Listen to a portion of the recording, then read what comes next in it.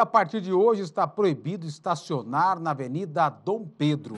Os próximos dias, segundo a Prefeitura de Ribeirão Preto, serão de orientação.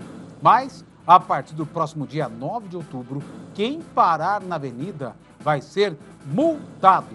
E o Rodrigo Ziviani, agora ao vivo, tem mais informações, porque os e os comerciantes, estão preocupados com o impacto dessa mudança, o que isso vai causar aí para o comércio na avenida, inclusive com protesto, né? O pessoal deve estar revoltado com essa decisão da prefeitura. É isso. Boa tarde para você, boa semana, irmão.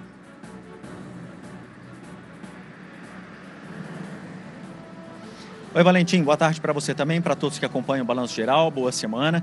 É isso mesmo, inclusive, Valentim, os comerciantes estão tão insatisfeitos que tem um protesto marcado para logo mais às 5 da tarde aqui na Avenida Dom Pedro. Eu vou pedir para o nosso cinegrafista Sérgio Galani passear aqui com a nossa câmera, né, com o nosso celulink pela Avenida Dom Pedro, mostrando para vocês o movimento aqui neste momento. Olha só, a regra do corredor exclusivo de ônibus, Valentim, passa a valer após quase um ano do anunciado pela administração. Então, durante todo esse período, houve uma flexibilização informal, as pessoas ainda, né, os motoristas ainda podiam estacionar os veículos aqui, mas agora isso deve acabar. Em outubro do ano passado, a obra foi entregue e aí o poder público voltou atrás, mas agora o caso é sério, viu?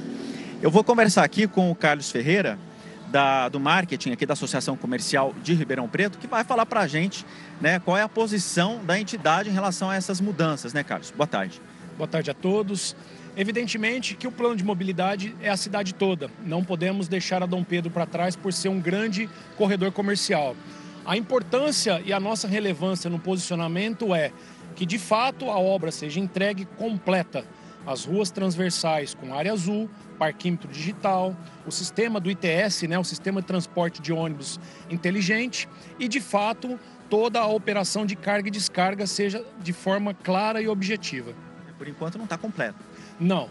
Como você mesmo disse, há um ano atrás foi entregue a obra, depois de um ano estamos aqui falando da entrega dos ônibus e assim por diante. Claro que na última semana, em negociação com a RP Mob e a Prefeitura de Ribeirão Preto, conseguimos prorrogar o prazo de carga e descarga para dar um, um conforto para o empresário da Dom Pedro de hoje até o final do ano, para que eles possam Black Friday, é, desculpa, crianças, Dia das Crianças, Black Friday e Natal seja contemplada para evitar transtornos. E a partir de janeiro entra o corredor de fato funcionando. Para que isso tudo realmente funcione, os comerciantes, motoristas se adaptem, que a associação acredita que precisa ser feito? Essa entrega efetiva da obra como um todo. Não adianta nada simplesmente a obra de infraestrutura sem a inteligência, que é o sistema do transporte inteligente e o apoio a quem vem comprar na avenida, ou seja, as transversais têm que ter o espaço dedicado ao cliente.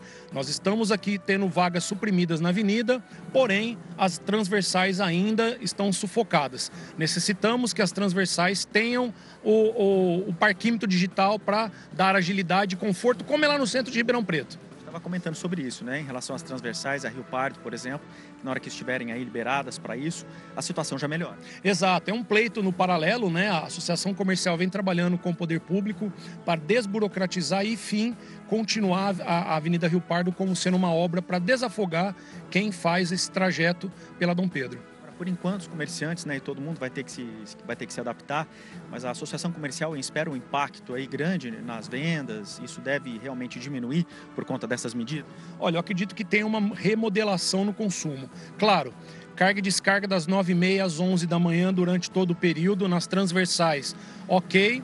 E o estacionamento suprimido para os próximos 15 dias de forma educativa e depois punitiva. Pedimos para que as pessoas tenham atenção em não trafegar no corredor de ônibus, por mais seja educativa, para já irem se adaptando. Sabemos que é inevitável e não tem retorno à implantação do corredor. E sim, qual é a melhoria? Vamos pleitear a área azul o mais rápido possível. Bom, tem um protesto agendado, como eu disse no começo, né, dos comerciantes para as 7 horas da tarde, desculpa, 5 horas da tarde, aqui na avenida. Isso está confirmado. Sim, nós estamos monitorando até para entender o movimento. Boa parte são de moradores que perderam a sua, sua, vaga de estacionamento na porta de casa e os empresários insatisfeitos, muitos deles é, revoltados com a implementação, mas é, é, é, é o progresso chegando a Ribeirão Preto com essa modernidade.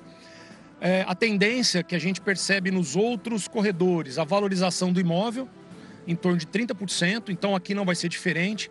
Grandes players, grandes empresários comerciais no ramo de alimentos e bebidas estão vindo para Dom Pedro, então a cidade tem tudo a, a, a crescer, inclusive a Avenida Dom Pedro. Tá certo. É isso então, Valentim. Eu conversei aqui com o Carlos Ferreira, da Associação Comercial, você acompanhando aí ainda as imagens do Sérgio Galani na Avenida Dom Pedro. Percebe então, Valentim, que conforme o nosso bate-papo aqui, tem os pontos negativos, né? Como impacto nas vendas e tudo mais, mas também tem alguns impactos positivos, como explicou o Carlos aqui, que é a modernidade chegando, né? Desde que a avenida, toda a estrutura seja entregue né? ao longo dos próximos meses, isso deve trazer então também alguns benefícios aqui para a região, como a valorização imobiliária. É isso, Valentim. Por enquanto, todo mundo vai ter de se adaptar porque as regras mudaram. Eu volto com você. Tá, e agradeço ao Carlos, o pessoal conversando com a gente ao vivo, nosso grande Rodrigo Ziviani, trazendo todos os detalhes. É um tema polêmico, né? Cada um tem a sua opinião, mas o importante é tentar encontrar com bom senso um meio termo para tentar agradar a todos. É difícil, né? A todos é difícil, porque uns preferem o estacionamento na porta da loja, outros preferem a modernidade, né? uma avenida mais com fluxo maior, né? uma avenida com mais opções aí de, de comércio, porém com estacionamento mais difícil. Né? Então é complicado tentar encontrar um meio termo, como disse o pessoal aí a entrevista do nosso Carlos para o Rodrigo Siviani.